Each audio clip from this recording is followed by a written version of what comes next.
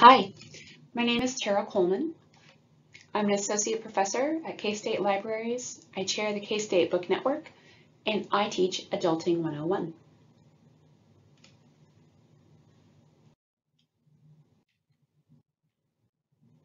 Going to college was an amazing experience for me.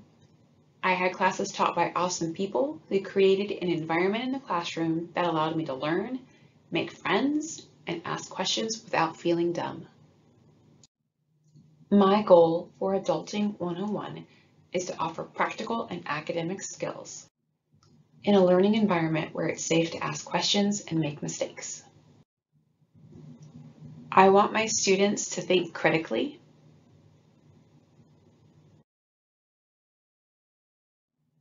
communicate effectively, and learn to identify trustworthy information and experts. Some of the topics we're exploring are food insecurity,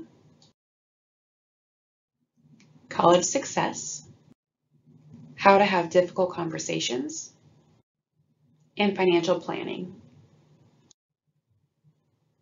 Because learning is social, the students will script and record an episode for a podcast that future students can listen to and learn from.